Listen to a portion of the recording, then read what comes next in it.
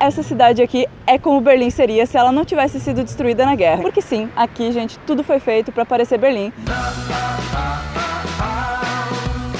Hello! Guten Tag. Eu sou a Elissa. E eu sou o Rodrigo. Este é o canal Alemanizando e mais uma vez estamos fora da Alemanha, apesar de termos o Alemanizando. Sim, nós somos convidados para vir aqui em... Pera aí, gente. Respira. Bydgoszcz, que é na Polônia, uma cidade muito bonita. Estamos aqui na frente dessas três granarias, mas nós vamos ver muito, muito mais do que isso, não é mesmo, Elissa? Vamos, vamos mesmo. Hoje, nesse vídeo aqui, nós vamos mostrar pra vocês toda a cidade antiga, medieval aqui no centrinho. Nós vamos mostrar a cidade moderna também, do século 18 e 19, né? Moderna, entre aspas. Entre aspas. Nós vamos dar um rolezinho aqui e mostrar pra vocês o que essa cidade tem de melhor aqui no centro mesmo.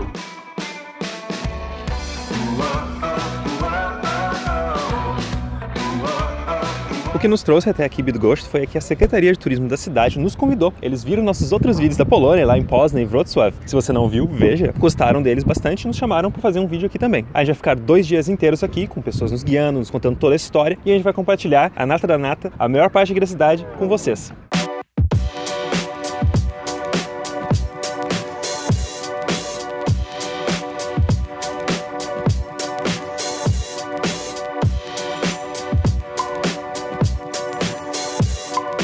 Estou aqui do lado da ópera e centro de convenções de Bydgoszcz para falar alguns dados aqui sobre a cidade, que eu sempre gosto de saber essas coisas, né, para ter uma noção de como é que é. Por exemplo, a cidade tem 360 mil habitantes e isso torna ela a oitava maior cidade da Polônia. Então ela aqui é realmente um, um ponto muito importante da região, né, que fica entre Poznan, que nós já estivemos, e Gdansk, que talvez um dia estaremos. Não sei, veremos no futuro, né? E de Berlim nós demoramos 4 horas e meia de trem e a passagem custou uns 45 euros e volta para cada um.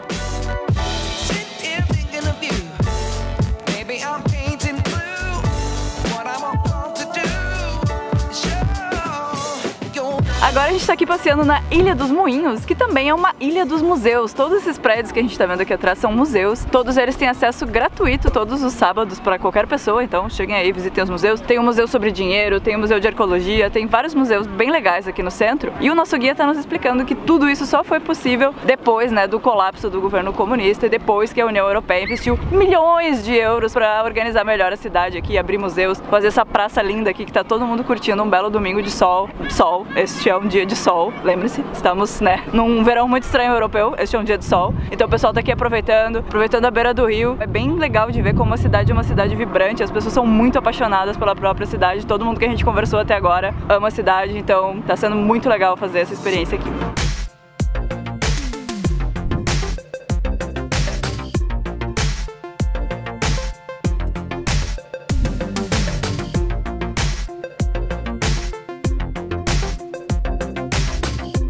Assim como disse a Elissa, né, aqui tem vários museus e a gente decidiu dar uma entrada em alguns para ver como é que é e a gente achou bem legal que eles são bem focados aqui na cidade. Por exemplo, o Museu de Arte Moderna tem vários artistas poloneses, inclusive vários aqui de Bydgoszcz. E estamos aqui na frente agora do Museu de Arqueologia, que fala sobre os povos que existiam aqui, toda a evolução, desde a Idade da Pedra, passando pela Idade do Bronze, do Ferro e tudo mais, toda essa evolução aqui, as técnicas que as pessoas usavam e também, né, essa ligação do povo com o rio, que, que eles usavam para pescar, por exemplo, várias canoas que eles foram desenvolvendo. Eu acho que vale bastante a pena, assim, dar um pulinho para aprender mais sobre a região.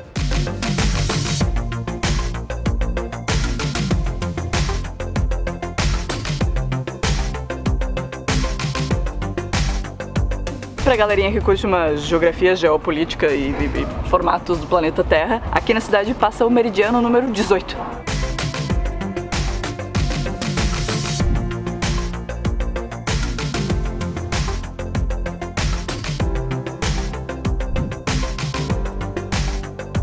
Paramos pra tomar um café. Olha esse café, gente. Vocês estão vendo esse? Tem camada.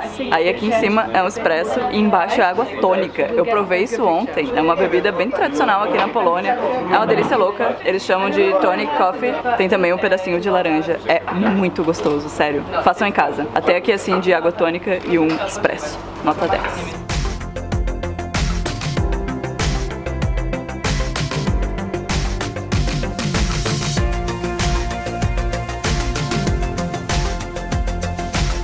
Uma coisa muito legal aqui de Bydgoszcz é a ligação que eles têm com o rio. O rio, na verdade, ele se tornou uma parte extremamente importante da cidade no século XVIII, quando os prussianos chegaram. Eles construíram um canal e esse canal conectou toda essa região aqui do norte da Polônia a Berlim. Então, em cinco dias, você podia pegar um barco e chegar em Berlim e com isso, né, se conectar com o resto da Europa, com o resto do reino prussiano. Isso desenvolveu aqui a cidade de uma maneira incrível. Ela realmente se tornou um paradouro muito importante para trocas, né? E ela se desenvolveu um monte, chegou um monte de dinheiro. Ela realmente se tornou muito mais rica nessa época e a cidade se desenvolveu bastante economicamente. E eles acabaram dando muito valor, né, para as águas, né, para o rio. Depois, durante o período nazista e também comunista, a cidade, né, teve momentos bem ruins e essa ligação se rompeu bastante. Né? Eles perderam essa conexão forte e só agora que a Polônia entrou na União Europeia, eles começaram a focar isso de novo, a limpar as águas e a desenvolver bastante a ligação de novo do rio com a cidade, que as pessoas podem simplesmente pular, tomar um banho, andar de canoa, andar de pedalinho e realmente dá para ver essa ligação forte das pessoas com os pés na água, relaxando, tá realmente se tornando algo importante para a cidade. O rio está perfeitamente limpo hoje em dia. Eles treinam muitos esportes aquáticos aqui. Inclusive isso gerou vários esportistas de nível olímpico, ganharam várias medalhas em esportes como remo e canoagem, esse tipo de coisa.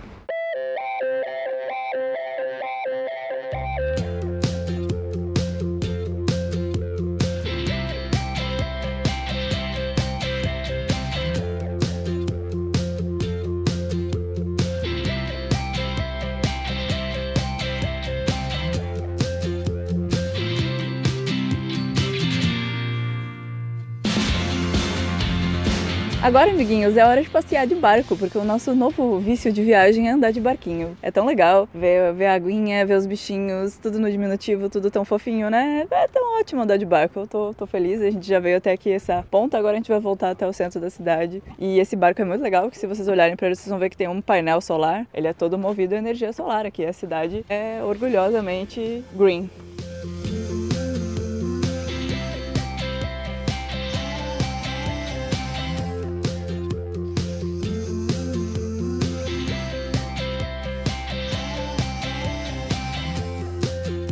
Passeio de barco durou mais ou menos uma hora e ele custa só quatro slots porque na verdade é uma linha mesmo, não é um passeio turístico assim, né, com informação e tudo mais. É só uma linha reta, vai e volta, mas vale muito a pena, né? Super agradável tu ver a cidade também por outro ângulo e é muito bonito, recomendado.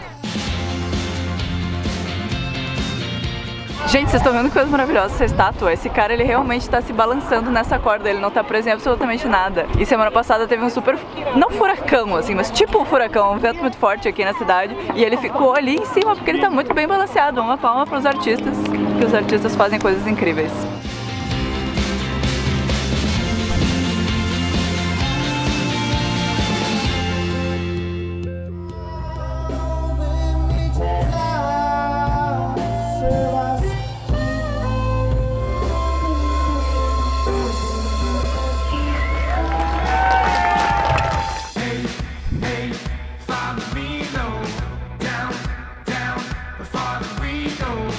Quem acompanha o canal sabe que eu piro em arquitetura, né? Adoro prédios bonitos, estilos bem clássicos. E aqui não tá faltando. Tem prédios em estilo renascentista, barroco e especialmente em Art Nouveau. Tem vários prédios em estilo Art Nouveau muito bonitos, em estilos bem tradicionais, em alguns estilos bem loucos. Tem um que fez uma sacada. Cada uma das três sacadas dos três andares são completamente diferentes. Tem também alguns com detalhes em chaimel, remetendo até né, à época. Porque Art Nouveau era o estilo arquitetônico favorito na época do domínio prussiano aqui da cidade.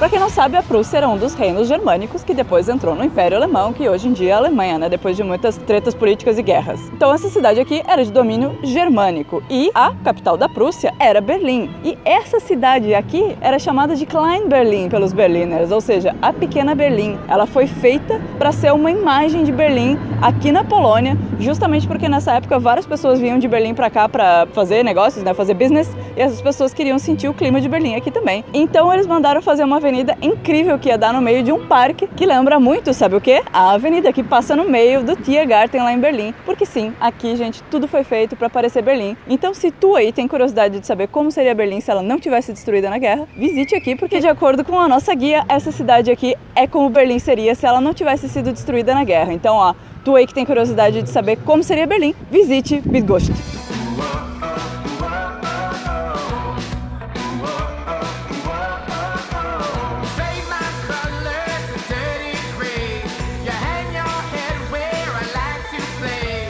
Olha só, gente, que lindo esses prédios. E eles continuam lindos assim porque felizmente essa cidade aqui foi poupada na Segunda Guerra, né? Os aliados não foram tão fundo assim, digamos assim, para dentro da Alemanha, que era a Alemanha na época, né? E os russos quando chegaram aqui não destruíram os prédios todos porque, né, eles chegaram, dominaram a cidade, mas não usaram artilharia aérea no caso. Por isso que tá tudo original e a cidade está bastante reformada. Cada vez mais os prédios estão ficando assim num estado pristino. Então vai passando tempo, vai ficando cada vez melhor de visitar.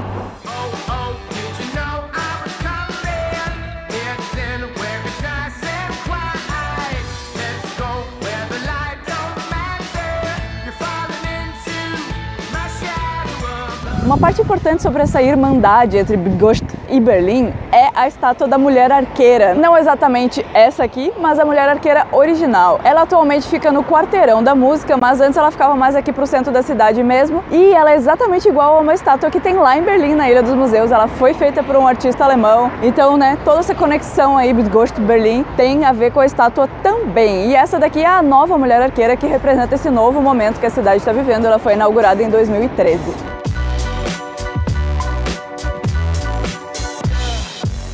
Amigos, como a gente já falou antes, a gente está passeando aqui com guias, né? E aí cada pessoa nos conta mais e mais detalhes sobre essa cidade. E agora a gente descobriu que, na verdade, essa estátua é conectada com a arqueira aqui da cidade. Na verdade, diz a lenda que ele tem ali um sapato que está no, no quadril direito dele, né? Tem uma sandalinha pendurada que ele está levando para a estátua nova da arqueira aqui da cidade, que não tem sandalinhas, coitada, tá de pé no chão. E ele tá aí sendo um bom amigo ou um bom amante, enfim, parente, entenda como você quiser. Ele está sendo uma boa pessoa e tá indo levar um sapatinho lá para ela não ficar sem sapato e na outra mão ele tem as flechas para realmente relacionar ele com a arqueira e supostamente ele representa a mudança da Polônia saindo do final né, do colapso do comunismo para entrar na União Europeia e ser um novo país maravilhoso. E se tu for um daqueles entusiastas do slackline, saiba que aqui na cidade eles têm um campeonato mundial intergaláctico de slackline, justamente aqui do lado dele para né, representar o momento do slackline.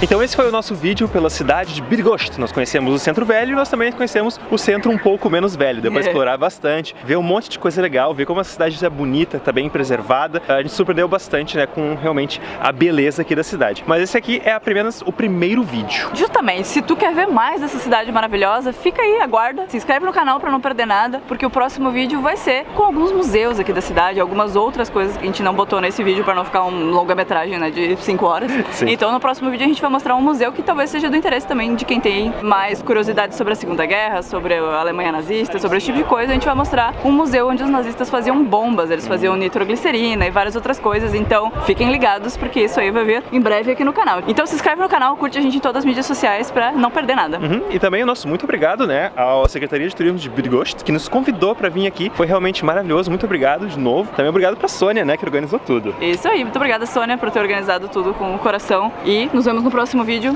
Tchau! Bydgoszcz. Bydgoszcz. Bydgoszcz. Bydgoszcz. Bydgoszcz. Bydgoszcz. Bydgoszcz. Bydgoszcz. Bydgoszcz. Esqueci de novo, me ajuda. Bydgoszcz. Bydgoszcz. Bydgoszcz. Byd- Bydgoszcz. Visite Bydgoszcz. Não é isso. Bydgoszcz. Visite Bydgoszcz.